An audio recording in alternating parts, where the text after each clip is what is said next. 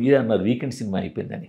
ఇప్పుడు పెద్ద ప్రాబ్లం ఏంటంటే అందరూ కూడా థియేటర్ల గురించి మాట్లాడేది పెద్ద సినిమా అయినా ఏ సినిమా అయినా కూడా. ఎందుకంటే సో థియేటర్లోకి సినిమా వెళ్ళిన తర్వాత ఎలా ఉంటుందన్నది ఎవరికి తెలియదు తెలియదు ట్రూ లేకపోతే నేనే సినిమా తీసినా నేనే చూసుకున్నా మీరే తీసినా ఎవరు చూసినా కూడా మన సినిమా థియేటర్లోకి వెళ్ళిన తర్వాత వాళ్ళు ఎలా రిసీవ్ చేసుకుంటారని మనకు తెలియదు తెలియదు సో ఈ పబ్లిసిటీతో ఈ బజ్తో ఈ మొమెంట్తో మ్యాక్సిమం డే వన్ టూ త్రీతో తీసుకోవాలని ఉంటుంది.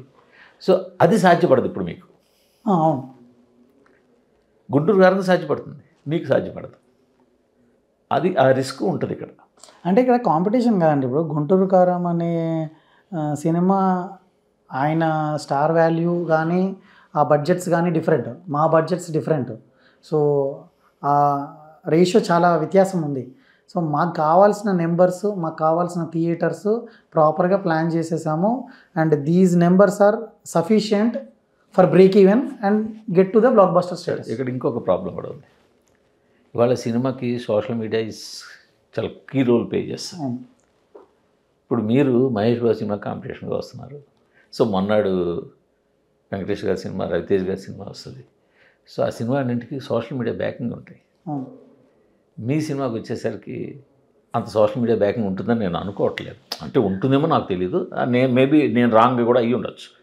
బట్ సినిమాని సినిమా బాగుంటుందా బాగుంటుందా పక్కన పెడితే సోషల్ మీడియాలో లేపడం దింపడం అనే ప్రయత్నాలు కొంచెం జరుగుతున్నాయి సో ఆ ఆ ప్రాబ్లం కూడా మీకు అవకాశం ఉంది కదా? మాకేం లేదు. ఇప్పుడు మీ ఇప్పుడు మీరు బస్ చూస్తున్నారు హనుమాన్ది. సోషల్ మీడియా ఎంత సపోర్ట్ చేస్తుంది. ఎలా ఉంది అనేది మీరు చూస్తున్నారు. చేస్తాను సో అక్కడే మీకు ఆన్సర్ దొరికింది. సో అంటే మన కంటెంట్ స్ట్రాంగ్ ఉండి మన ఇంటెన్షన్స్ జెన్యున్ ఉంటే ప్రాజెక్ట్ మీద సో దట్ ఏ కల్మషం లేకుండా ప్రాజెక్ట్ని ప్రాపర్గా చేసినప్పుడు hundred percent we are expecting ఆ సపోర్ట్ కానీ ఆడియన్స్ నుంచి కానీ సోషల్ మీడియా నుంచి కానీ మీడియా నుంచి కానీ హండ్రెడ్ పర్సెంట్ ఉంటుంది అనేది నా నమ్మకం. ఈ ప్రాజెక్ట్ త్రీ ఇయర్స్ మేము జెన్యున్ ఇంటెన్షన్స్తో చేసాము. అండ్ ప్రాజెక్ట్ స్టార్ట్ అయిన దగ్గర నుంచి ఈ రోజు వరకు కూడా ప్రతి పోస్టర్కి ప్రతి ట్వీట్కి ప్రతి దానికి we got very huge response and positive response. ఇలాగే రిలీజ్ అయిపోయేంత వరకు కంటిన్యూ అవుతుందని మా నమ్మకం. లేదు నేను హండ్రెడ్ పర్సెంట్ ఇవాళ గుంటూరు కారం సినిమా తర్వాత మీ సినిమాకి నెక్స్ట్ ప్లేస్లో పాజిటివ్ బజ్ అయితే ఉంది. అంటే మిగతా సినిమా లేట్గా అనౌన్స్ చేయడం వల్ల కొంచెం వెనకబడి ఉండొచ్చు బట్ మీ సినిమాకి అయితే గుంటూరు కారం తర్వాత ఉంది. అందులో మీరు అన్నట్టు ప్రతి దానికి ఎంత పాజిటివ్ వస్తుందో వస్తుంది. బట్ ద సేమ్ టైము అడిగే వాళ్ళు ఉన్నారు మీకు ఎందుకు అవసరమా? మా సినిమా మీరు ఆడడం అవసరమా? అని కానీ లేకపోతే మహేష్ బాబు సినిమా మీరు ఆడడం అవసరమా కానీ అడిగే వాళ్ళు కూడా ఉన్నారు. ఇప్పుడు అవి ఉంటాయండి కాకపోతే ఏంటి అంటే సో మేము ప్రాజెక్ట్ చే చేసినప్పుడు గోల్ ఇప్పుడు మీరు ఒక గోల్ పెట్టుకుంటారు. గోల్స్ ఆల్వేస్ బిగ్గర్ ఉంటాయి. సో మేము ఈ సినిమాని ఈ స్కేల్లో తీసి ఒక స్పెషల్ ఫిలిం లాగా ఇంట్రడ్యూస్ చేస్తున్నాం ఆడియన్స్కి.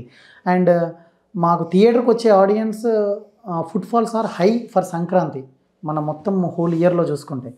సో ఇంత ఫుట్ఫాల్స్ ఉన్న సినిమాని ఈ టైంలో స్పెషల్ ఫిలింగా తీసుకొస్తే హండ్రెడ్ పర్సెంట్ ఆడియన్స్ నుంచి మంచి రెస్పాన్స్ ఉంటుంది. అండ్ అదర్ రీజియన్స్లో కూడా నో కాంపిటీషన్ కాబట్టి so we might get good traction అనే ఇంటెన్షన్తోనే ముందుకెళ్తుంది. మొత్తం ఇప్పుడు దిల్రాజ్ గారికి ఇచ్చేసారా? మీ సినిమా పన్నెండుకే ఎందుకు రావాలో లెటర్ అడిగారని మిమ్మల్ని. కారణాలతో ఇమ్మని అడిగారని అన్నారు. ఆయనకి ఇచ్చారా డీటెయిల్ రిపోర్ట్?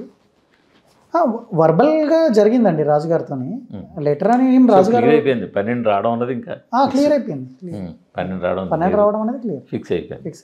ఇప్పుడు మీ- ఇప్పుడు మీరు సోషల్ మీడియాలో వస్తున్నాయి. పోస్టర్స్ మా పోస్టర్స్ వస్తున్నాయి వాళ్ళ పోస్టర్స్ వస్తున్నాయి twelve so hardly ten twelve days left అంతే. యా మీ వర్క్ అంతా కంఫర్టబుల్లా యా యా ఎవ్రీథింగ్ అయిపోయింది. అయిపోయిందా? Everything is done and we want to open advance bookings for US from Jan second Jan second so మొత్తానికి Hanuman release fix అయ్యారు. So Hanuman బాగా వచ్చింది. కాన్ఫిడెంట్ చూసారా? ఫైనల్ కాపీ యా యా చూసాను. ఉమ్. అంటే సీజీ బుక్లు అన్నీ అయిపోయింది? అన్నీ అయిపోయాయి. చాలా ఏదో మిక్సింగ్ థౌజండ్స్ ఆఫ్ ఫ్రేమ్స్ ఉంటాయని అన్నారు Prashanth Varma garu last time yeah more than sixteen hundred plus అదే సిక్స్టీన్ ప్లస్ స్క్రీన్స్ అవన్నీ వచ్చేసా యా అన్నీ వచ్చేసాయి. మ్మ్. ఎలా ఉండబోతున్నాయండి?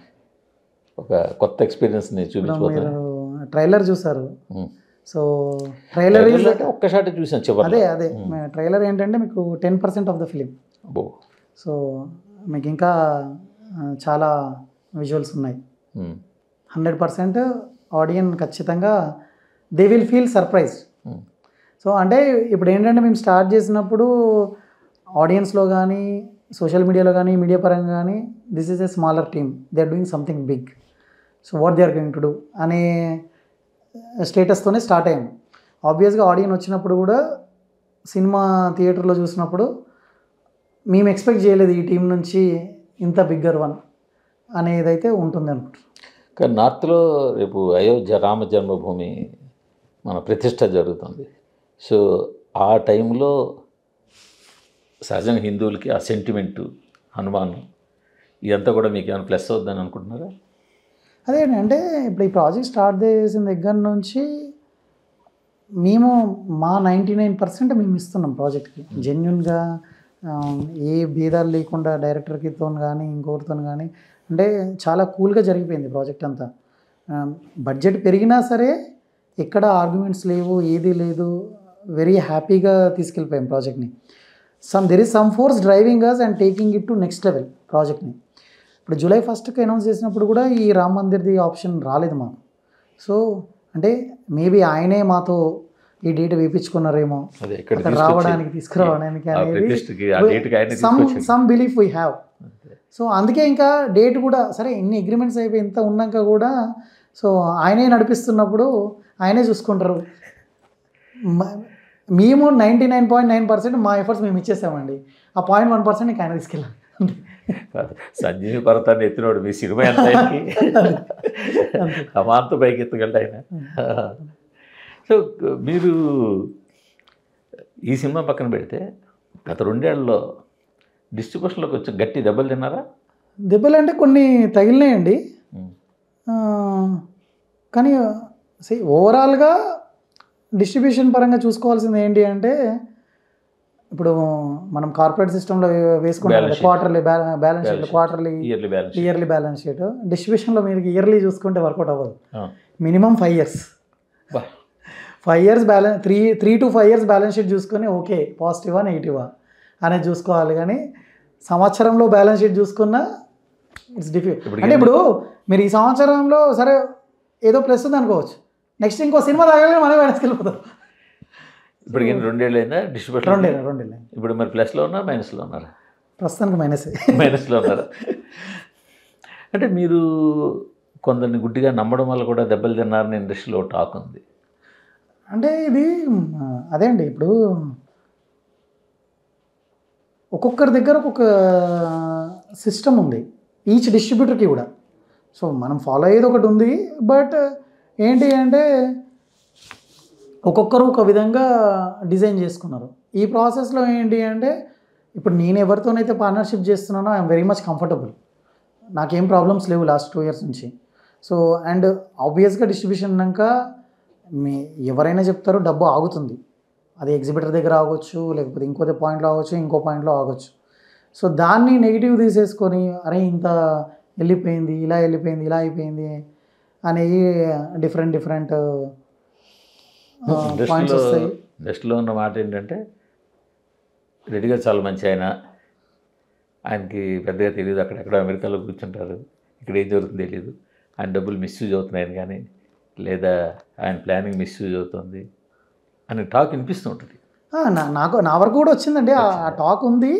బట్ నా దగ్గరికి ఎప్పుడు వచ్చినా కానీ నేనైతే ఒకటే చెప్తాను. See I'm comfortable as of now so ఈ చిన్న చిన్న డిఫరెన్సెస్ అనేవి మనుషుల్లో వస్తూనే ఉంటాయి. అది కామన్ బట్ ఈ మిస్యూజ్ ఇలా అనేది అయితే మాత్రం ఏం లేదు. ప్యూర్ పార్ట్నర్స్ డెసిషన్స్ ఉన్నాయి. సో కలిసి తీసుకున్నవే. అది లాభమైనా కలిసి తీసుకుంటే వచ్చింది నష్టమైనా కలిసి తీసుకుంటేనే వచ్చింది. సో మీద మీ బిజినెస్ కొంచెం దగ్గరుండి జాగ్రత్తగా చూసుకోవాలనుకుంటున్నారా? లెర్నింగ్ కర్వ్ అండి. అంటే ఖచ్చితంగా ఇప్పుడు ఇంకా కొంచెం ప్రస్తుతానికైతే I want focus more on production దాంతోపాటు డిస్ట్రిబ్యూషన్ కూడా ఇప్పుడు ఈ టూ ఇయర్స్ కొంచెం స్పీడ్గా చేస్తాం. కొన్ని మూవీస్ ఆల్మోస్ట్ ఇప్పుడు గుంటూరు వైజాగ్ రీజియన్ కలిపి ఒక సెవెంటీ ఎయిటీ మూవీస్ చేస్తాం డిస్ట్రిబ్యూటర్. ఆల్మోస్ట్ సో కొంచెం తగ్గి స్లోగా బెటర్ ఏంటి? అసలు ఈ ప్రోడక్ట్కి ఎంత వాల్యూ ఉంటుంది? ఎలా పెట్టొచ్చు? ఎలా చేయొచ్చు అనేది కొంచెం చూసి చేయాలనేది నెక్స్ట్ ఇయర్ ప్లాన్. సో కొన్ని లెసన్స్ అయితే నేర్చుకున్నారు. Every time it's a lesson.